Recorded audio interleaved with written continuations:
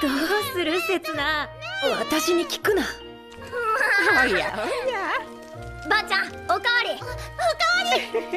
はいはい。結局お泊まりになっちゃったね。ごちそうにまでなっちゃって。ここはあの沼に近い。例の妖怪退治にはうってつけだ。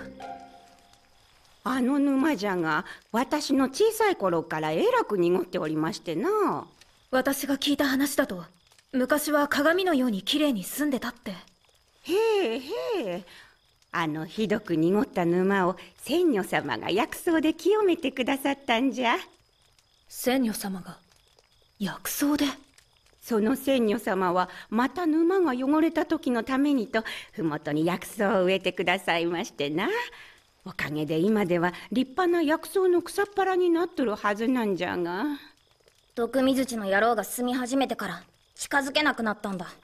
毒水地毒を持った大きな蛇みたいな妖怪だよ。千代ちゃんたち見たことあるの？うん。ね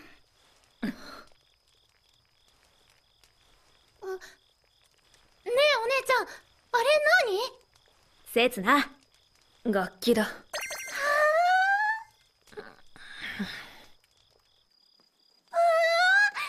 白い形。ビワの仲間か？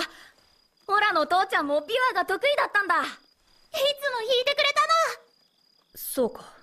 これはバイオリンって言うんだよ。バイオリン？聞かせて。オラも聞きたい。別に聞かせるほどじゃない。よかったらどうかこの子たちに聞かせてやってもらえんかの。うん？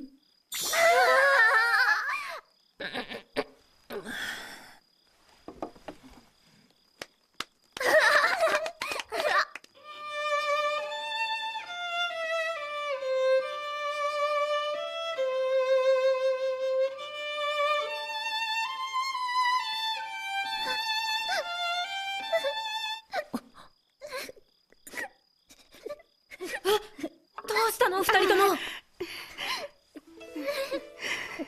この子たちの父親は。あの沼でオラたちにビワを弾いてくれた時にあいつに